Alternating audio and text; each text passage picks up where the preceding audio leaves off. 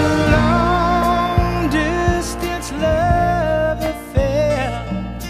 Tender are the moments that they rarely share. They hope time will come someday when together with the Fräulein they'll steal.